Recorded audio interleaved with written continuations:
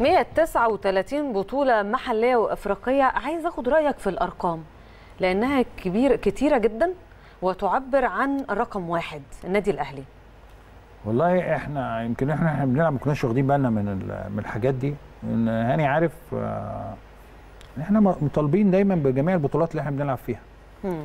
آه، من إحنا في الناشئين يعني اتربينا على المكسب بس التعادل ده خسارة بالنسبة لنا يعني. ف لما زادت البطولات وزادت السوبر وزاد المسابقات بطولة نفسها. العالم آه المسابقات نفسها فكان لازم إن إحنا بنفس الشكل اللي إحنا بنلعب بيه ومؤسسة بتشتغل بيه وكيان واحد يعني فكر واحد آه، مدرب زي اللاعب زي أي حد بيجي حتى. يعني كنت سامعكم بتقولوا إن لما بيجي أي حد هنا بتبقى مدرب مثلا بيبقى محظوظ جدا. يعني طبعا ال- مجالس الإدارة والدنيا اتربوا على توفير كل الأدوات اللي هي آه، تجعل البطولة آه، في النادي الأهلي. الله يرحمه صالح سليم كان يقول لنا يعني شوفوا مين ياخدها بقى يعني لو أنتوا مش عايزينها مش هتاخدوها نشوف بقى مين عايز ياخدها. أنتوا اللي هتفرطوا أنتوا اللي فيها هتقرروا مين آه. أنتوا اللي بتقرروا مين ياخدها يعني.